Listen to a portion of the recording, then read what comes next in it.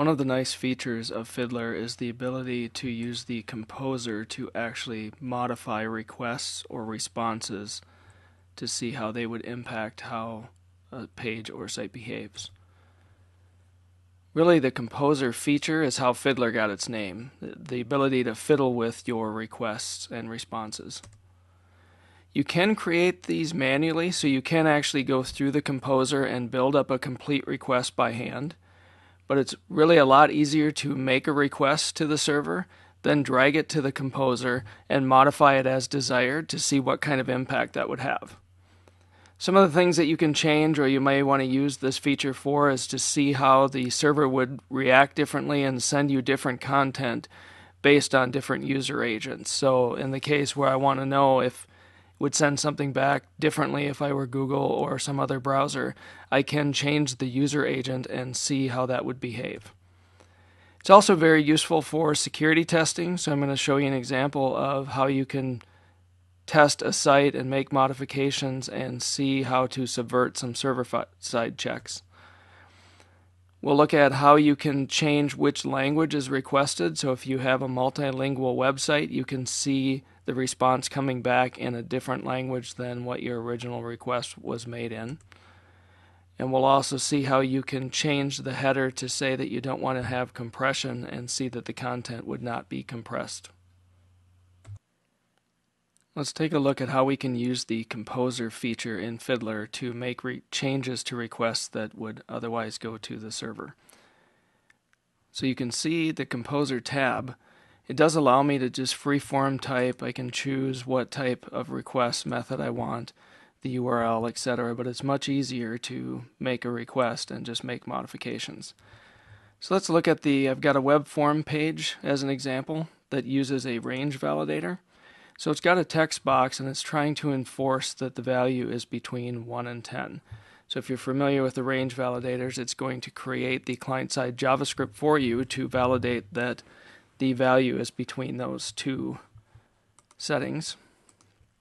So let's pull this up. We'll test it out first. If I hit 1, that will submit just fine. If I were to try to do 0, we'll see the client-side validation kicked in, and it says that that's not okay. If I were to go back to Fiddler, I'll see the request that went up to the server. I can actually click that and drag it into Composer and we'll see that it changes that that was a post to that particular file. And if I look below, I can see the values that were sent up to the server. So if I'm concerned about will my server react correctly if somebody tried to cheat on the client, I can actually look and say, well, I'm going to change the text box 1 to have a different value. I'm going to say that I'm going to submit 0. So in this case, the validators are supposed to emit client side JavaScript, but they also work on the server. So I would hope that this is going to be enforced on the server, and I'm just checking to see if that will actually occur. So I make the modification I want to the request body, and I will re execute that request. If I go back and look at what the response looks like via the inspectors, we'll see that it said the value is zero, which isn't what I expected. I expected it instead to say that there was an issue with that. If we go back and look at the code, I won't spend a lot of time on this, but in the case of web forms, while you're in page load on the server, the validation controls have still not fired.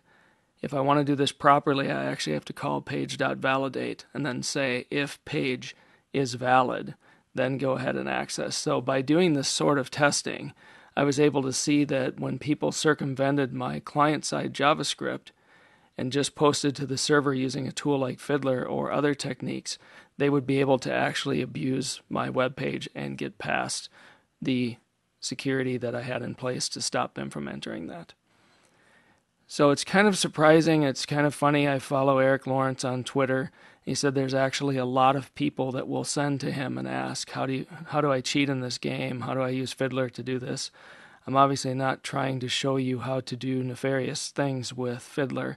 The idea is that it is useful for you to do security testing. It would be more difficult to simulate this, but it's very easy to use the Composer feature and make all sorts of modifications to either the request as it went up to the server or the response as it comes back. As another example of a good use for the Composer feature, we'll look at a web page that is set up uh, to be bilingual. And I'm not going to spend a lot of time on the actual ASP.NET techniques involved with creating a bilingual or multilingual website. But the idea is the page refers to resource files to pull out the literal text. So if we were to look at this page by default in IE, it says hello world. So if we look at the resource files, here's my default resource file, and that literal intro message just says hello world. I can create various languages for these resource files. So in this case, I said I wanted to have a Spanish version, which in this case would say Hola Mundo. And if we were to go back into Fiddler, we can see the original request that was made. When I drag that over to the composer, we will see that here is the part that's important. So as the browser is sending to the server, it says the languages that I'm willing to accept, in this case is US English. We'll change that to Spanish and re-execute the request to the server. Now I can click, go back to the inspectors, look at the raw response, and see that now I get the Spanish version of the page instead of the English version of the page.